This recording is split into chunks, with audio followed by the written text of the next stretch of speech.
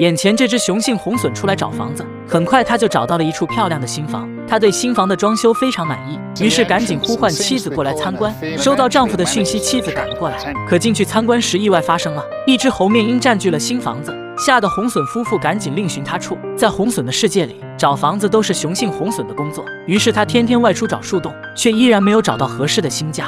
有时候找到一个漂亮的窝，没想到里面却住着大表哥一家，他只好再次外出寻找。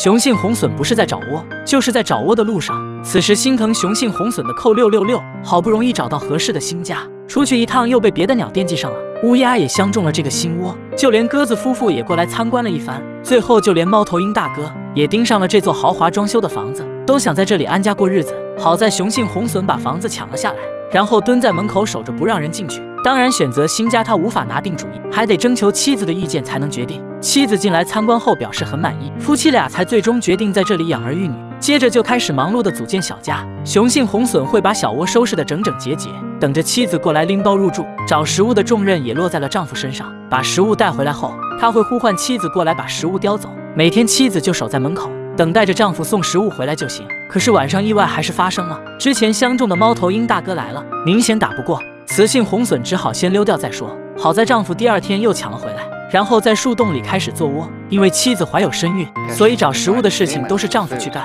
妻子在家里等着吃现成的就行了。这一次丈夫叼回来一只蚯蚓，妻子看到食物非常不满意，对着丈夫骂骂咧咧了一整天。丈夫也知道这点食物不够，于是又飞出去找吃的去了。这一次丈夫带回来一只大的，妻子对丈夫的表现很满意。为了这个家，夫妻俩都很辛苦，妻子需要保持充足的营养。才能够孕育出他们的宝宝。五天后，终于到了生产的时间，妻子会回到窝里安心待产。到了晚上，终于产下了第一枚蛋。第二天，丈夫回来时，看到窝里的蛋，非常开心，这是属于他鸟生中的第一个宝宝。他贴心的蹲下，想尝试孵化宝宝。红隼是可以雌雄孵化的鸟类，通常一窝会产下五枚鸟蛋，所以现在是他们孕育孩子的开始。而丈夫身上的担子更重了，他除了帮忙孵化，还要出去找食物，好让妻子可以安心在家里产蛋。有时候夫妻俩也会在门口商量，哪里的猎物会比较多一点。就这样日复一日的忙碌着，很快妻子便产下了第三枚蛋，接着便飞出去寻找食物了。此时红隼爸爸会接班孵化宝宝，始终保持有一位在家里，给蛋宝宝提供足够的温度。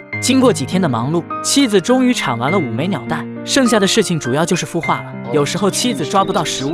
回来就会跟丈夫争吵，就像是缺了柴米油盐的小两口，偶尔也会埋怨对方几句。这时丈夫就会出去寻找猎物。红隼是一夫一妻制的鸟类，只要认可对方，就会不离不弃。孕育孩子时他们会不分彼此，但孕育的过程从来都不会一帆风顺。这天夜里，猫头鹰大哥跑过来抢窝，红隼妈妈发现敌情后，奋不顾身地冲上去搏斗。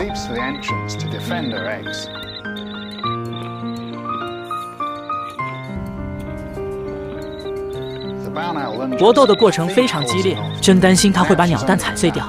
好在红隼妈妈不顾一切的阻止，终于把猫头鹰大哥给赶走了。隼妈妈来不及检查身上的伤痕，而是马上检查自己的小宝宝。经过二十几天的贴心孵化，第一只小红隼终于破壳而出。见丈夫迟迟没有回来，隼妈妈便出去找食物去了。隼爸爸回来看到出世的宝宝，心里别提有多高兴了。他明白自己身上的担子更重了，不但要喂养孵化成功的宝宝。还要继续把其他鸟蛋孵化成功。接下来红隼一家还会遇到什么危险？精彩内容请看续集。